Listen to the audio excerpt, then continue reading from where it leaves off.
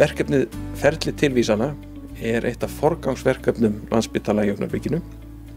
Það snýst um rafrænar tilvísanir inn á spítalan, innan einingaspítalans. Þannig að þetta verkefni, ferli tilvísana, snýst um það að skýra, bæta og einfalda þetta ferli og samræma það þvert á stopnununa og ég raun svolítið á heilbríðiskerfið í heilsina því að þetta er heilsugæslan bæði fyrir og eftir og önnur, önnur þjónustu stig taka við þessum upplýsingum.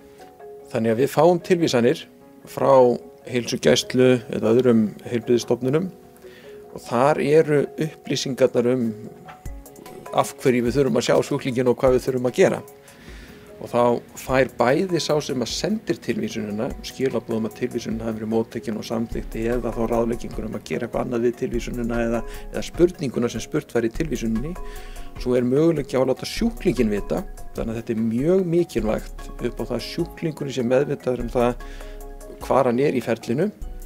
Og þetta er líka ákveðin leið og, og tækifæri til að auka þáttöku sjúklinga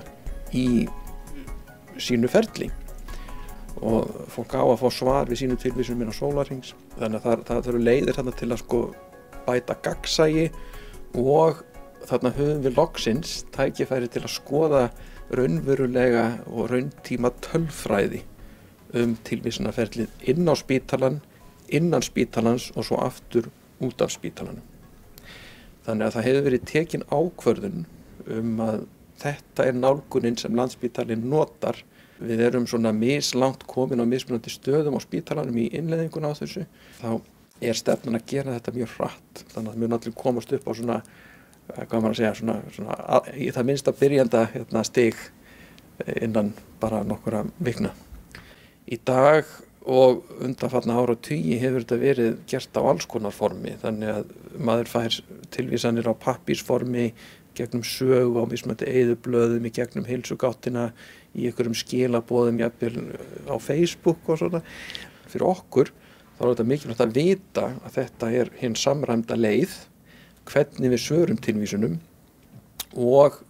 það er ákveðið öryggi á, á þetta í því að, að, að, að það kemur svar til þeir sem vísar sjúklingnum og líka til sjúklingsins sjálfs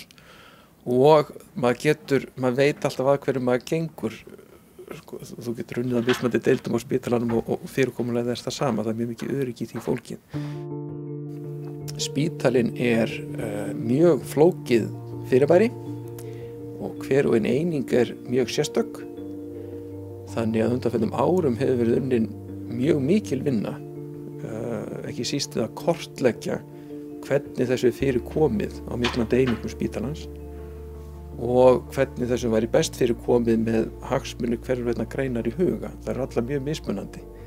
Ebling dag og gangudelda hefur lengi verið eitt af líkil hérna, verkefnum spítalans. Ég sé þetta sem einn af líkil þáttunum í því að koma því svona raunverulega flug. Það er mjög mikið talað um steinsteipu og gangudeldarhús og svona en til þess að það skipti ekkur um máli þá verða þessi ferðlana fyrir lægi áður en við förum í nýja steinsteipu.